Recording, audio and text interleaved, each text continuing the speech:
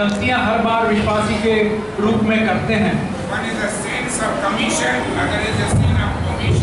और जो एक पाप है वो कार्यों के द्वारा होता है और एक और जो रहता है जो नहीं जो भलाई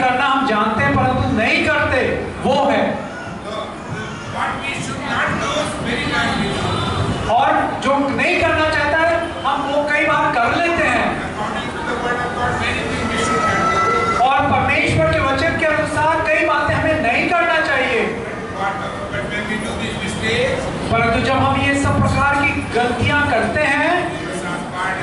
और हमें क्षमा परमेश्वर की क्षमा मांगनी चाहिए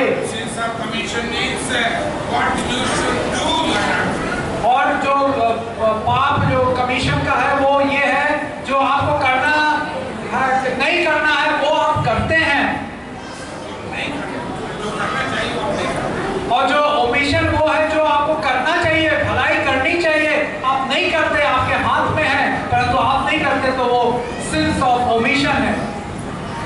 यीशु ने प्रभु ने और इस विधि के द्वारा आशीष दिया है।